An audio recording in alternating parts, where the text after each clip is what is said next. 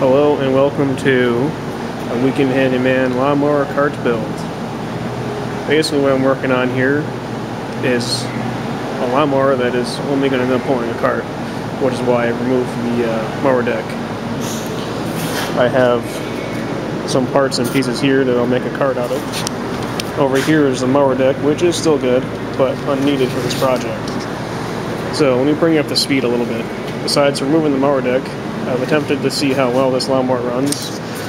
It was about running, but it basically has no idle. It just races up to full speed. I'm going to show you why.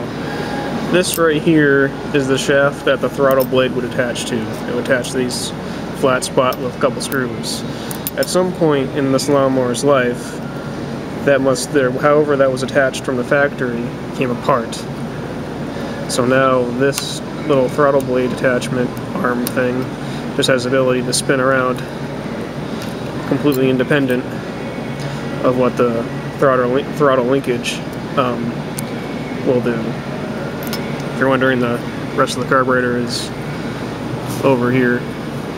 Um, so basically what I'm doing right now is just grinding off the solder that somebody had put on there at some point and gonna hope to get a much better solder bond on there.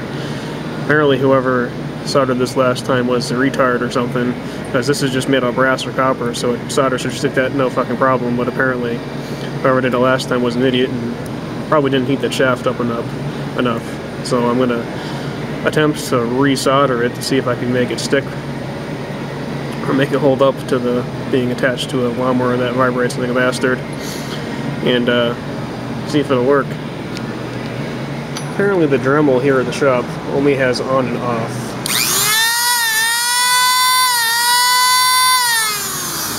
makes working on this thing a little bit more annoying, but hey, these are the tools down here at the shop.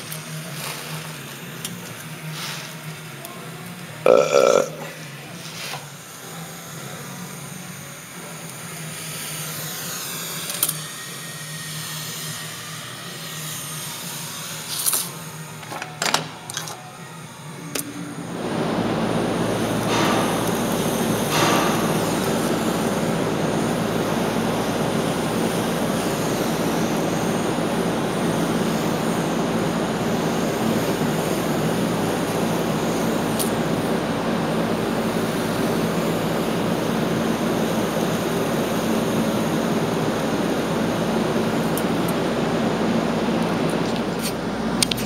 So here's the new and improved uh, throttle blade shaft.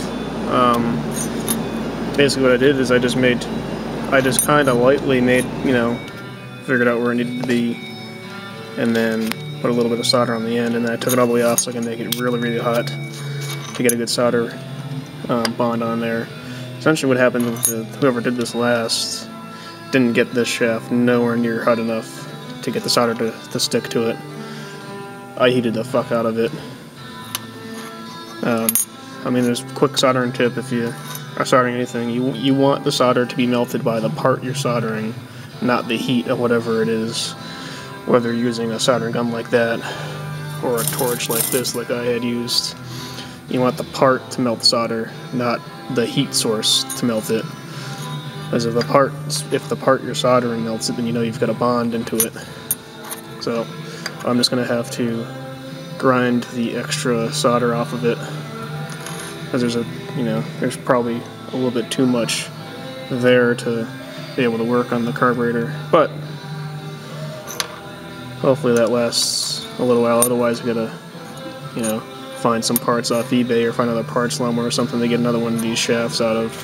This one's all fucked I guess I kind of lucked out. There was enough space for the glob that I have on there for the throttle linkage and shaft to go in there and then you know it works like it's supposed to now. Um, it's still a little bit messed up. I still might need to replace it anyways or find something because it still has a lot of movement down there. But hopefully that won't matter and it's you know this is just a fucking lawnmower carburetor. It's not precise. But we'll see. Get it back on the lawnmower and see what happens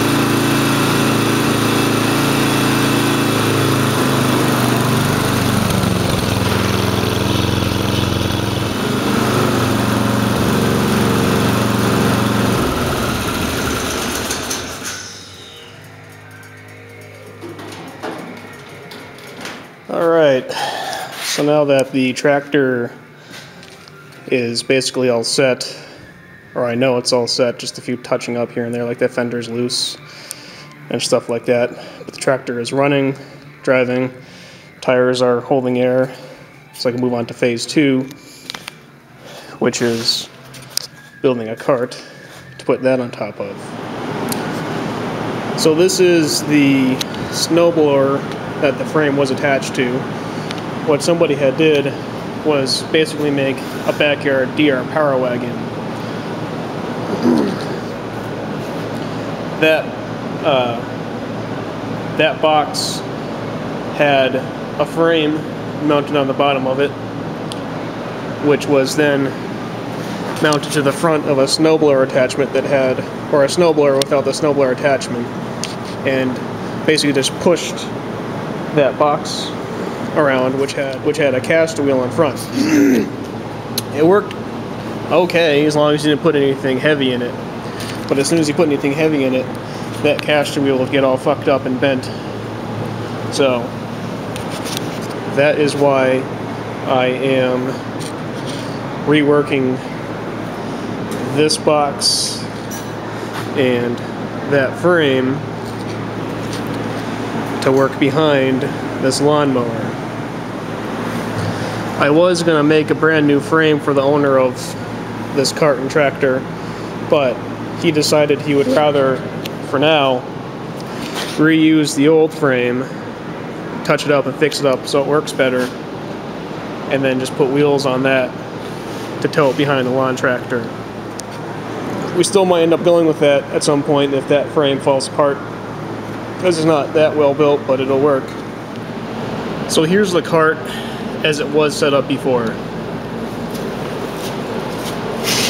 This box part used to actually be a trailer for probably a tractor, and this was where the wheels would have attached.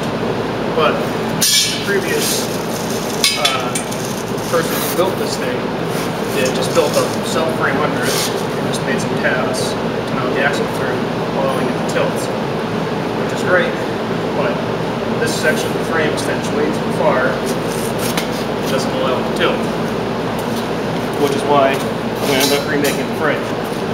Now it has some, you know, the tilt was, or the, the latching part back here was pretty well thought out.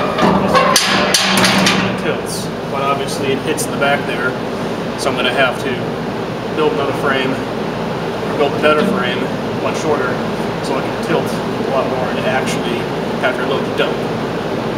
But I'm going to essentially keep the same design. I'm going to cut off all this stuff and mount it on whatever frame I end up building.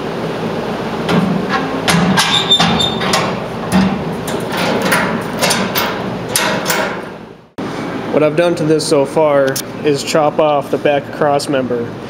Now the reason I did that is because this frame was nice and long, but it didn't provide enough pivot, or uh, it didn't provide enough room for the box to go on top to pivot to dump all the way. It had a few inches of movement and that was it.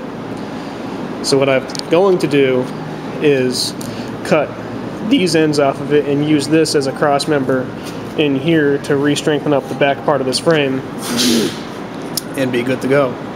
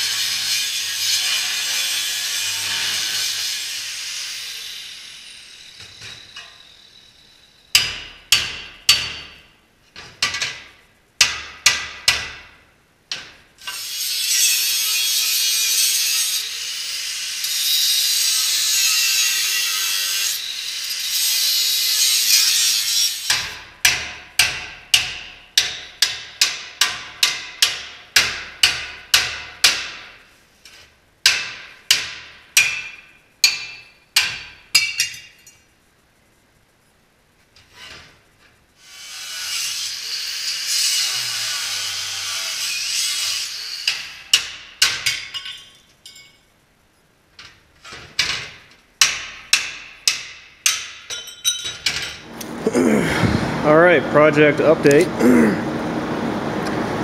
I have my cross member in here now. I'm just working on welding it in here. Um, the welds are coming out okay. I'm using a different welder than I normally would. It's a it's an older, bigger welder than the, the home the home one that I usually use. Uh, so I'm you know this what this side over here in particular doesn't look that good, but I was trying to figure out how to set it up right, and I'm having an issue with getting a good ground on it. I'm probably going to have to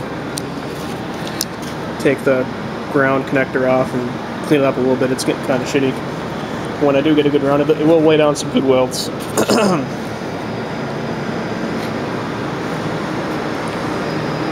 so right now I'm taking a break, eating some lunch. I cleaned up this a little bit. Probably not going to do a full seam weld here. I don't really need to. I'm just going to leave it like that probably.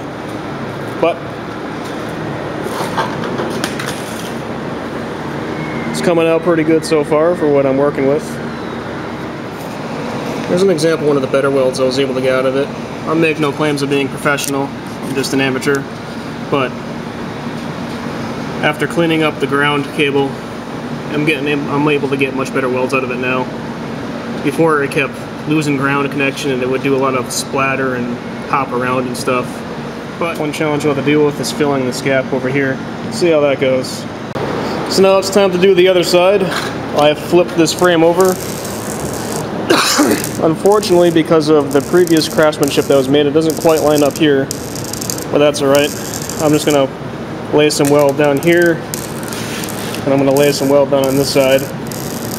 And I'm probably just going to leave that as is. Should be plenty strong enough. That that back cross member cross member isn't really going to have to hold too much weight, but it is what it is. So when this frame was originally constructed, this part that went in the back and this part were technically separate, and whoever built it last went ahead and welded it together well, of course, you can still see the seam.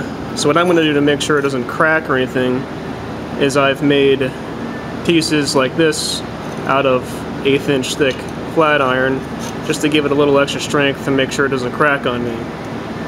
So that's what I'll be welding on next.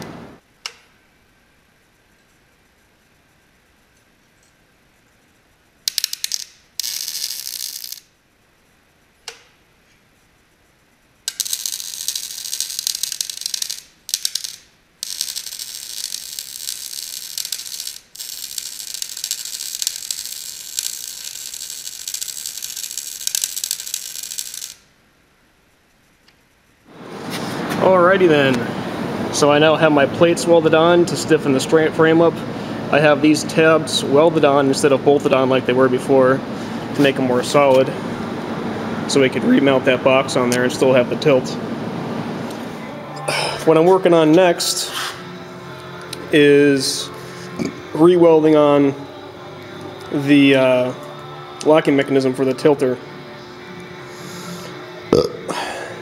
The welds that are on there are pretty bad. If you remember, I could knock them off with a hammer. So all I'm going to do now is I've cleaned up the metal like you're supposed to, and I'm going to do some weld beads along the edges here on the inside on both sides.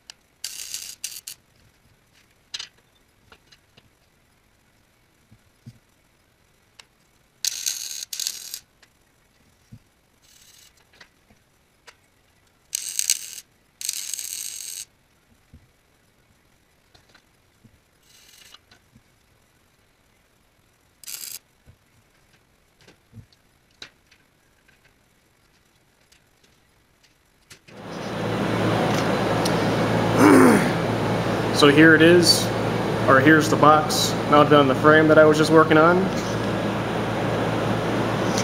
Let's see how she works.